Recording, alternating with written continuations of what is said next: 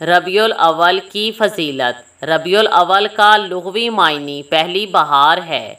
इस्लामी साल हज़रत मुहम्मद सल्लल्लाहु अलैहि वसल्लम की हिजरत से शुरू हुआ, जब आपने मक्का से मदीना की तरफ़ हिजरत की।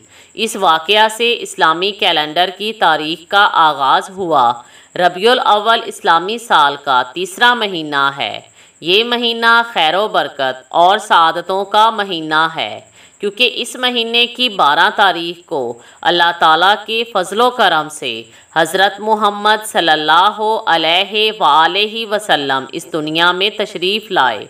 आपका इस दुनिया में तशरीफ़ लाना हमारे लिए अल्लाह ताला का बहुत बड़ा एहसान है। इरशाद बारी ताला है।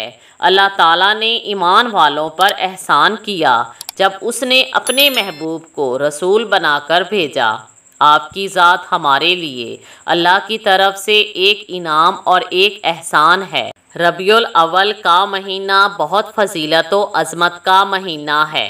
अल्लाह ताला ने जब कुरान पाक नाजिल किया तो हमें एहसान नहीं जतलाया। रमज़ान का महीना अता फरमाया तो एहसान नहीं जतलाया। लैलातुल कद्र अता की तो एहसान नहीं जतलाया। सूरज, चाँद, सितारे, आसमान, ज़मीन हती के इंसान होने का भी एहसान नहीं जतलाया।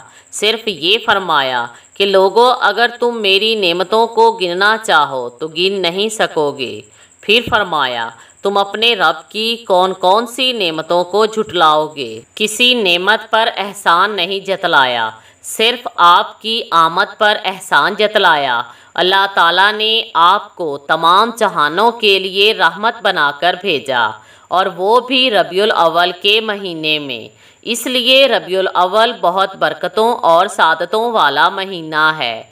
इसकी फजीलत से इनकार नहीं किया जा सकता। Thanks for watching